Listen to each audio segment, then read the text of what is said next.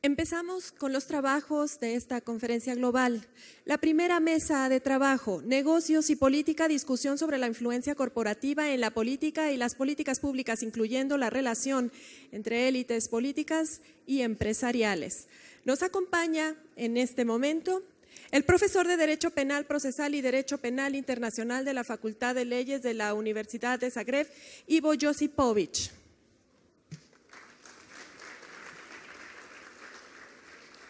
La asesora económica principal de Iniciativa Política del Desarrollo Económico de África, Obia Geli Esek Wesley.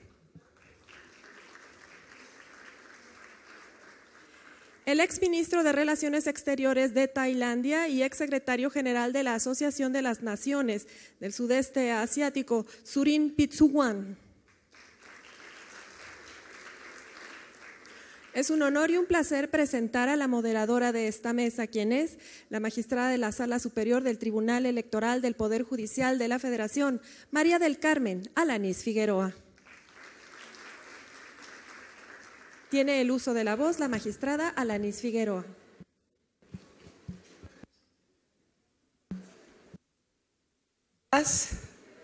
Muy buenos días a, todas y a todos ustedes. Eh, es un placer eh, esta oportunidad de participar como moderadora en, esta mesa. And to our uh, distinguished panelists, uh, welcome to, to Mexico. Let me introduce myself. I'm Carmen Alaniz. I'm Justice of the Electoral Court of, of Mexico. I will moderate the table in Spanish, if you don't mind, because it's much, much better than my English. Eh, les, me presenté con nuestros panelistas y señalaba que voy a moderar este panel en español porque es mucho mejor que mi inglés. Muy buenos días a, a todas, y ustedes, a todas y a todos ustedes. Eh, quisiera, antes de, de iniciar con la introducción en el panel, hacer una breve, muy breve semblanza de nuestros tres panelistas. Lo cierto es que son personalidades de primer nivel, como todas y todos los que están en esta audiencia, pero con una enorme experiencia, no solo en el tema que nos reúne, que es el financiamiento político a nivel global, sino también experiencia desde distintos ámbitos, los ámbitos académicos, eh, los ámbitos eh, políticos, los ámbitos eh, económicos y también la experiencia en cada uno de sus países y en la, en la región. Simplemente quisiera dar algunos detalles de, de la semblanza de cada uno de nuestros panelistas en el entendido que ustedes tienen acceso a las fichas curriculares completas. como ya, ya fue mencionado, nos acompañan eh, en la mesa la señora Obiageli Esewesili, que eh, de manera eh, muy amable me autorizó a llamarla Obi durante el resto del, panel. bienvenida. ella es principal consejera económica de Iniciativa Política de Desarrollo Económico de África, donde asesora a jefes de Estado africanos comprometidos con reformas en asuntos económicos y políticos. Me da, es para mí un honor y me parece muy sensible, pero eh, la felicito porque también eh, ella es cofundadora del movimiento ciudadano Bring Back Our Girls, regrésenos a nuestras niñas que promueve el rescate de las 219 estudiantes secuestradas en la comunidad de Chibok, en el estado de Borno, en, Nigeria del Norte. Fue la principal eh, consejera económica en la Open Society Foundation, eh, fungió como vicepresidenta del Banco Mundial, eh, región África, trabajó en distintos cargos muy diversos y muy importantes en el gobierno federal de Nigeria. Destacaría también su experiencia en la transparencia, rendición de cuentas y anticorrupción. Eh, sectores del petróleo, gas y minería, entonces habla de un bagaje eh, muy amplio y multidisciplinario. Eh, también estuvo dos años en el Centro para el Desarrollo Internacional de la Universidad de Harvard como directora del programa Estrategia Económica Nigeriana en Boston y Abuja en colaboración con el profesor Jeffrey eh, Sash. Eh, en fin, es contadora pública, tiene una maestría en políticas públicas, también en Derecho Internacional y Diplomacia. Eh, bienvenida, Obi, a este, a este panel.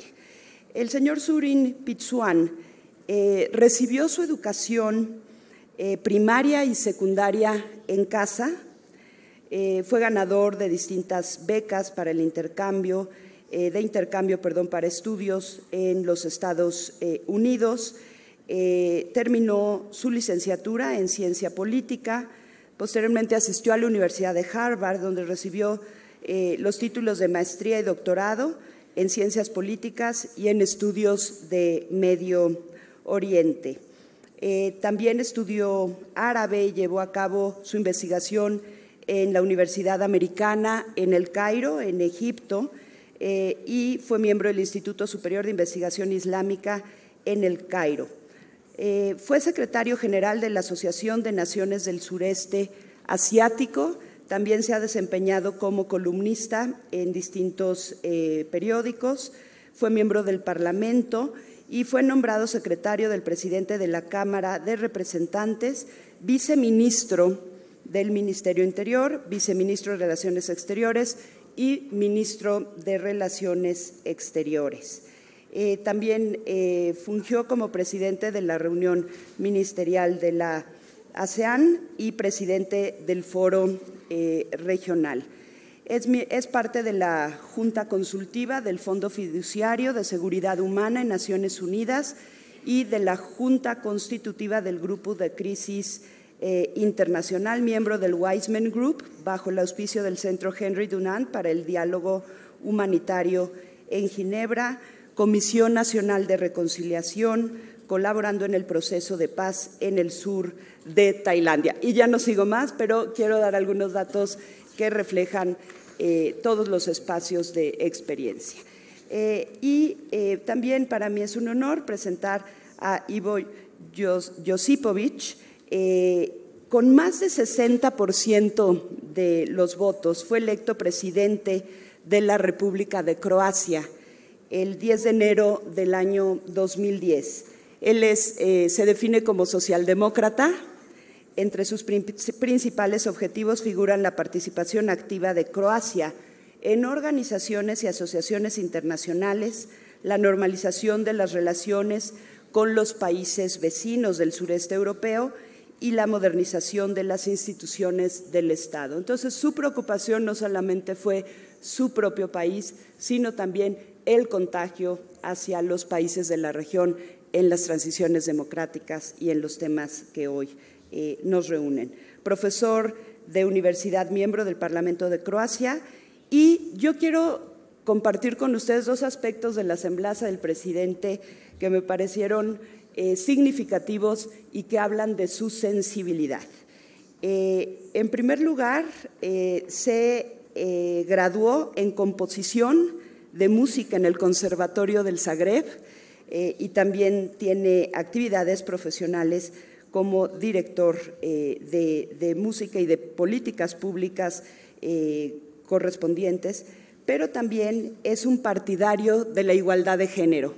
Estas dos actividades eh, del presidente pues hablan de una sensibilidad también muy importante en la cultura y en la inclusión, en políticas de inclusión a nivel nacional e internacional. Les pido que les demos un aplauso a nuestros panelistas.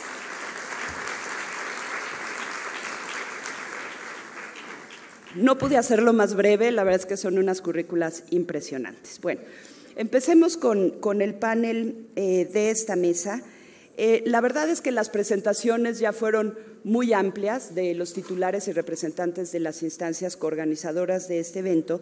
Entonces yo únicamente introduciré la mesa de manera muy, muy breve en el sentido de cómo pueden incidir o influir negativa o positivamente los negocios y la política.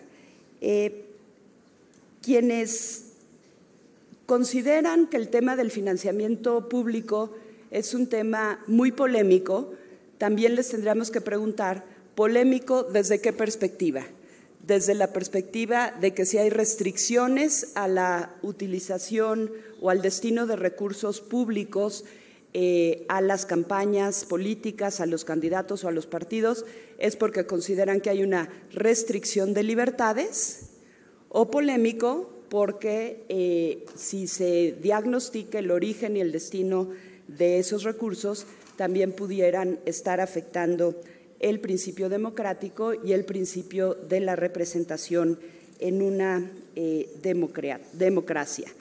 Eh, me parece que el sentido de esta mesa debe de enfocarse a cómo esta regulación del financiamiento público se hace necesaria o no, esa es la conclusión a la que quisiéramos abordar, cuando tenemos frente a nosotros en las contiendas electorales prácticas clientelares que pudieran afectar la libertad del sufragio. Eh, tenemos eh, prácticas en donde empresas privadas, inclusive empresas privadas no solo nacionales, eh, incursionan en la política electoral dentro de los países y no solamente es en la política electoral, sino también pueden incursionar en el diseño y aprobación de políticas públicas que respondan a los intereses de algunas empresas que pueden estar financiando las campañas y las elecciones. Eh, tenemos también experiencias identificadas en las distintas regiones representadas en este panel, en donde el papel de los medios de comunicación es fundamental para la mercadotecnia y las campañas, pero el papel que han jugado las empresas de los medios de comunicación en el apoyo a las candidaturas también se ha vuelto eh, muy problemático. Eh, alrededor de esto, pero sobre todo haciendo énfasis en la experiencia de cada uno de nuestros panelistas en su región, pero en su experiencia también eh, profesional e internacional, eh, pudiéramos diagnosticar y después hacer las propuestas correspondientes. Les sugería a nuestros panelistas que en lugar de hablar diez minutos seguidos cada uno de ellos, pudieran tener una intervención de cinco minutos cada uno, después una segunda ronda de otros cinco minutos y responderemos preguntas del auditorio. Y comenzamos con usted, querida señora. Quisiera hacerle eh, tres preguntas que me parecen eh, fundamentales. El papel del financiamiento político en África. Eh, hemos estudiado que corporaciones y élites empresariales han tenido cada vez más una influencia sobre la, política. Muchos países en África ya tienen legislación y regulación muy precisa sobre el financiamiento político. De hecho, podríamos tener una comparación en, la dinámica de la legislación y regulación del financiamiento en la política entre África y Latinoamérica. Ha sido un avance muy importante, pero quisiera que nos comentaras, Obi, si eh, esta regulación ha sido eficaz en el control del origen y del destino de los recursos en, África. Y por otra parte, también el costo de las campañas eh, políticas en la región eh, se han incrementado eh, de manera sustancial por las donaciones de las corporaciones privadas y también se habla de donaciones de corporaciones extranjeras. Quisiera que pudiéramos abundar sobre estos primeros temas. Obi, si nos haces favor. Muchas gracias.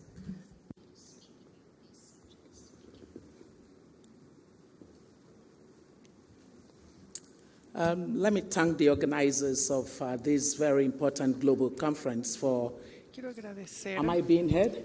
Por la eh, organización de esta conferencia global. ¿Me pueden um, escuchar? I just want to thank Quiero agradecerle a los organizadores, a IDEA Internacional y a todos sus socios por haberme invitado a participar en esta conferencia global que yo considero muy auspiciosa para, para un tiempo, unos tiempos para, eh, como estos en los que el mundo lucha y tiene muchos desafíos, ya sea economía, seguridad o política y gobernanza eh, global. Um, Así es que quiero uh, comenzar hablando de estas eh, preguntas, dándoles un poco de contexto histórico, ya que quieren que me uh, enfoque en uh, África. Los puntos que quiero hacer es que después de la independencia de la mayoría de los países africanos en los años 60, la democracia era, estaba a la orden del día. Pero en cuestión de años ocurrieron muchas eh, cosas negativas y muchos cambios políticos que ocurrieron en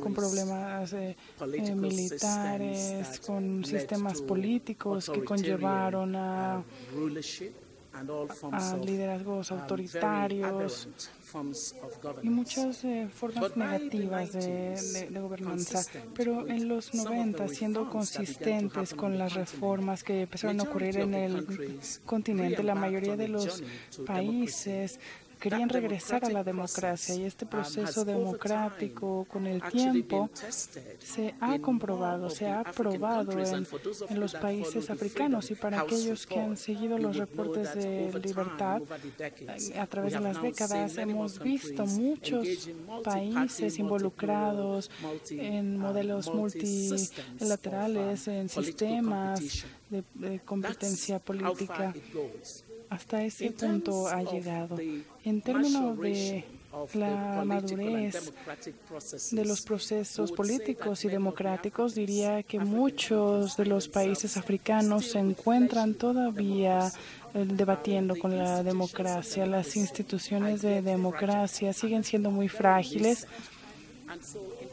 Así es que en términos de rendición de cuentas democrática de los sistemas electrónicos y los principios, uno diría que no es tan sólida como debería de ser y por lo tanto este contexto afecta la conversación que estamos teniendo el día de hoy. La conversación que tenemos es sobre el financiamiento en la política. Una de las cosas que ha ocurrido a lo largo del continente es que los ciudadanos cada vez más tienen más expectativas de lo que debe de entregarle el gobierno y las expectativas no ha llegado no han llegado al punto en el que hay una forma muy sofisticada de vincular la forma en la que se financia la política contra lo que la política entrega. Todavía existe esta desconexión en la forma en que los ciudadanos eh, correlacionan el financiamiento de los sistemas políticos, del financiamiento del sistema electoral y la forma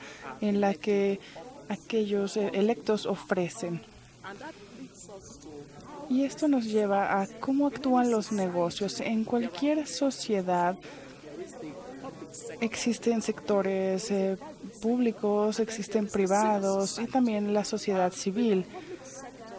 El sector público y el privado han sido mucho más organizados en, esta conducta y podemos articular eh, su misión y su propósito, pero es más difícil, especialmente en sociedades con muchas etnias, encontrar una coalición de intereses que sea definida de una forma en la que los ciudadanos encuentren un contrabalance a cualquier tipo de relación que se suele manifestar en la relación con el sector privado, en los negocios y eh, con aquellos que gobiernan. Hasta ese punto, lo que hemos visto ha sido lo que yo llamaría la privatización de la democracia. La privatización de la democracia en el sentido en que eh, Thomas Jefferson nos dio la definición clásica de la democracia de la gente, por la gente y, por, y para la gente. Creo que fue Lincoln. Me encanta Jefferson, entonces a veces le doy citas que ni siquiera son de él. Así es que Lincoln nos dio esta definición brillante y esta definición nos lleva a la definición que, eh, que, nos, que nos dieron, nos dio el presidente de Idea Internacional. Tenemos que ver que todo se trata de la igualdad de los ciudadanos, en lo que ellos están esperando de los procesos democráticos.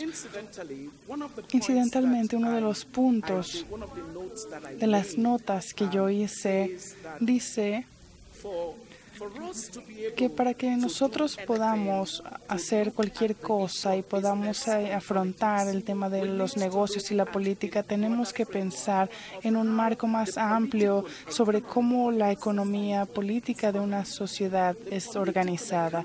La economía política de una sociedad define las instituciones y las organizaciones a los incentivos y la forma en la que los incentivos funcionan. Y hasta ese punto, lo que hemos visto es que en muchas sociedades, que lo vemos a nivel mundial, existe un control de los eh, recursos y el beneficio del crecimiento. Entonces, a nivel estatal, en las sociedades también vemos esta clase de élite que controla el gobierno, ya sea en las fronteras de la política o en la economía. Así es que existe una red de intereses que resultan de, la, de esta élite que también afecta a nivel estatal. El, contrabalance que yo decía es poder definir los poderes de los ciudadanos cómo se organiza a los ciudadanos para que trabajen contra esta naturaleza de relaciones entre el negocio y el Estado. Conforme entramos a la segunda parte de esto, yo hablaría del desafío de estar esperando que sin los ciudadanos eh, son aquellos eh, beneficiarios del status quo, que sus intereses están dentro del status quo y que estén de acuerdo en refinanciar. Muchas gracias, Obi. Tendremos una segunda oportunidad para hablar. Ahora eh, le, damos el uso de la palabra al doctor Pitsuan. Eh, quisiera enfocarme también en algunas preguntas para hacer énfasis en la región. Eh, en primer término, eh, quisiera eh, señalar que en recientes años también nos hemos percatado que en democracias asiáticas han llegado magnates empresariales, medios de comunicación que directamente se están involucrando en los partidos políticos, inclusive en la formación de partidos políticos propios lo cual supone que entonces hay un ingreso enorme de recursos a la política y encarece las propias campañas políticas. Nos gustaría saber qué tan grande es este problema y eh, también eh, tenemos detectado en, en, todas las regiones del mundo en donde se involucran las empresas privadas en la política que se está dando un fenómeno de puerta que se llama o se reconoce como puerta giratoria, y es decir, que los, eh, los, dueños de las empresas, el poder económico, luego ingresa a posiciones en el gobierno o favorece a gobernantes para que accedan a otros cargos en el poder y luego ingresan a las empresas y luego regresan al gobierno. Entonces, este fenómeno de puerta giratoria pues está también eh, monopolizando eh, las políticas y el papel que juega la sociedad eh, civil, eh, doctor Pitsuan, en, en, la región. Gracias. Thank you very much, Madam Alanis. Uh, it is a great honor to be a part of this global honor estar en esta conferencia global. Uh, y creo que es una eh, llamada para levantarnos ya que creo que todos los que estamos presentes, bueno, en todo el mundo, los jóvenes, me, me, emociona ver a muchos jóvenes aquí presentes, para que todos estemos conscientes del hecho de que sí, la democracia es un deseo, es un deseo universal, es la forma deseada de, de gobierno para todos. En todos lados está en peligro, en todos lados se ve bajo amenaza. Y la causa de esta amenaza es definitivamente el rol del dinero y la forma en la que éste manipula la maquinaria de la democracia, de las instituciones de democracia y en todo nuestro sistema político. El mundo actual está buscando un nuevo consenso y ese consenso es cómo administrar los desafíos globales, el cambio climático, el problema de la falta de recursos, la pobreza, la inequidad. Antes de enfrentar estos temas, necesitamos una nueva conciencia global, necesitamos un consenso global nuevo. Pero este consenso, esta conciencia son muy difíciles de obtener cuando los países y los estados que representan a 7 mil millones de personas alrededor del mundo son de alguna forma, eh, eh, estos no realmente representan a la gente, son manipulados por el dinero, por la riqueza, por la influencia fuera de su sistema político ideal. En Asia, ¿por qué está ocurriendo esto en Asia? Porque Asia está es, un centro de crecimiento de todo el mundo. Hay mucha riqueza, mucha inversión, mucha acumulación de riquezas en cada país asiático. Por lo tanto, los países que están experimentando con la democracia, en los primeros años lo estaban haciendo bastante bien, pero cuando llegan las inversiones, cuando aparece el comercio, cuando hay mucha riqueza acumulada, el nexo entre la riqueza nacional y la riqueza global se está volviendo eh, factor real para determinar la dirección de la calidad de las políticas nacionales. Los negocios están comprometidos con el beneficio, con las ganancias.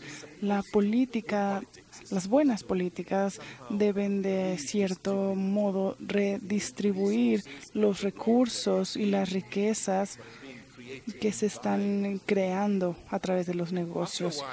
Después de un tiempo, los empresarios ven la oportunidad y dicen que es mejor involucrarse en la política en vez de simplemente quedarse a un lado y hacer una ganancia a través de esto. Y aquí es donde surge el problema. El problema es que si te quieres involucrar, quieres capturar la política,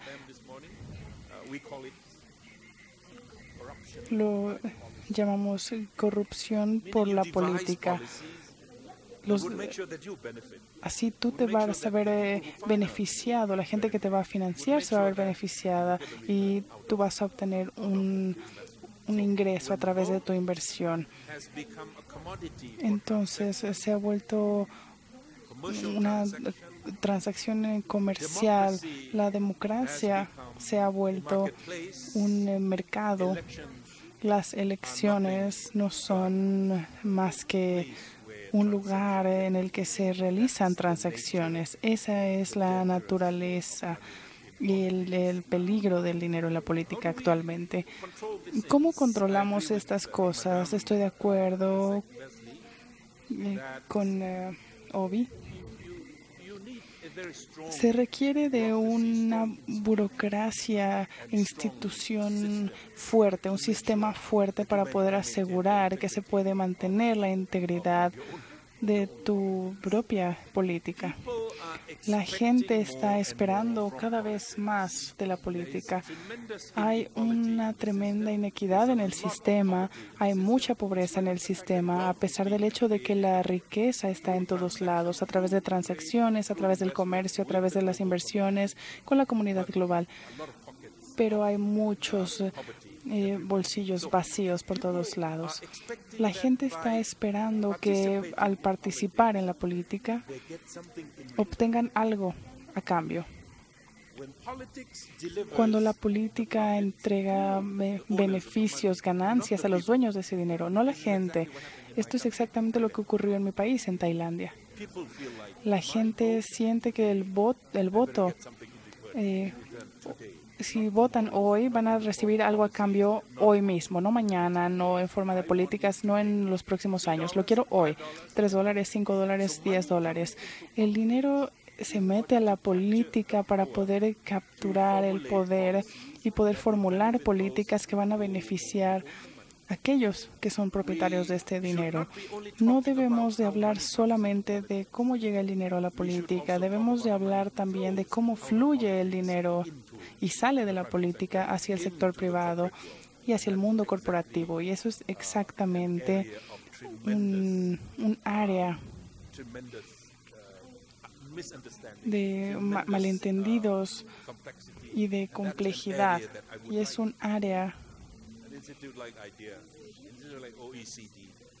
que instituciones como la OSD deben de estar analizando la forma en la que los, los recursos y el dinero salen de la política y fluyen hacia las manos del mundo corporativo para poder hacer más y poder controlar más y beneficiar más. Y es un ciclo vicioso.